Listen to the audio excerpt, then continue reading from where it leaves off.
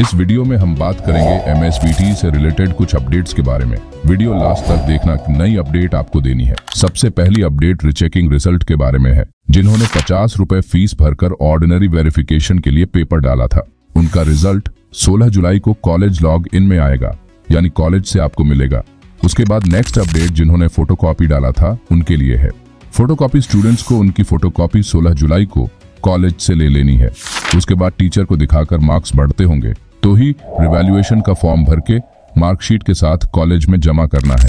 उसके बाद next update college students जिनका थर्ड और फिफ्थ सेमेस्टर चालू हो चुका है, उनकी फ़र्स्ट क्लास टेस्ट 28 से 30 अगस्त को होगी और फ़र्स्ट सेमेस्टर की फ़र्स्ट क्लास टेस्ट 18 सितंबर के बाद होगी।